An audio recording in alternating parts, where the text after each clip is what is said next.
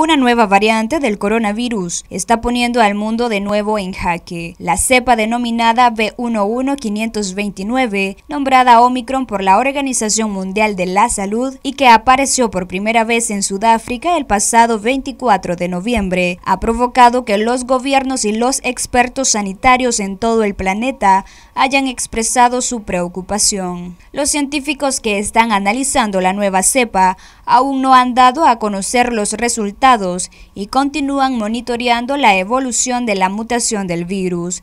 Pese a esto, se cree que su aparición está provocando aumento exponencial de casos positivos por coronavirus en todo el mundo. Los expertos han instado a los gobiernos a mejorar los esfuerzos de vigilancia, especialmente para monitorear su evolución y confirmar si realmente esta variante podría ser mucho más peligrosa que el resto de las que han aparecido desde el estallido de la pandemia del COVID-19. Además de las medidas que se pusieron en marcha desde el inicio de la crisis sanitaria, como el uso de las mascarillas, el lavado de mano, la buena ventilación de los espacios cerrados y el cumplimiento del distanciamiento social, las autoridades también recuerdan que la vacunación ha demostrado ser efectiva para reducir los riesgos y la curva de contagios. Esta situación podría poner en alerta a los países de América Latina, que están registrando un ritmo de vacunación mucho más lento,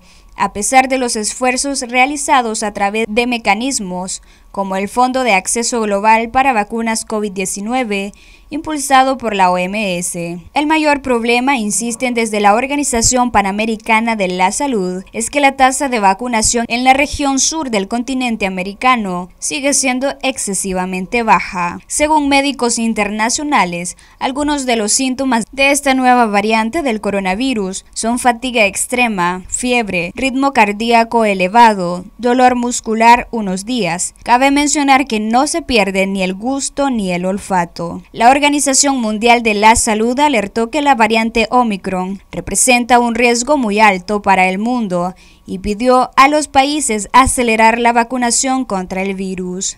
Para Noticias 12, Luisa Centeno.